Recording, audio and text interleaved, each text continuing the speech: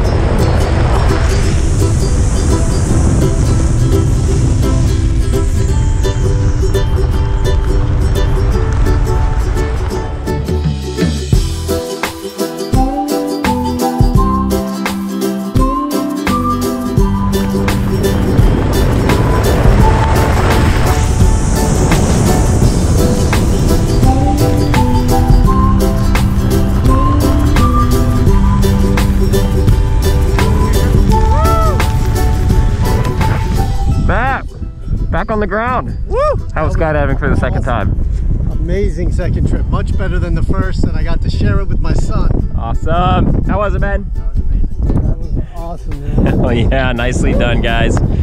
You're welcome. Thanks for joining us here at Big Island Gravity. We'll see you next time. Aloha.